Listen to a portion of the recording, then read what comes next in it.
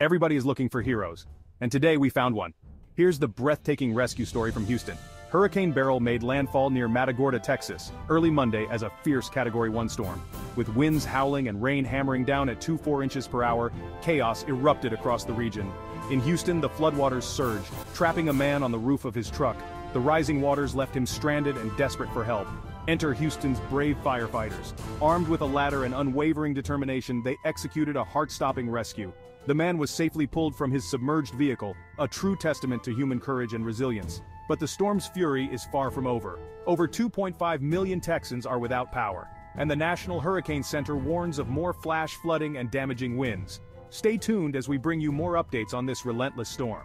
Remember, in times of crisis, heroes rise. For now, let's celebrate the bravery that saved a life. Thanks for watching. Stay safe. Stay informed.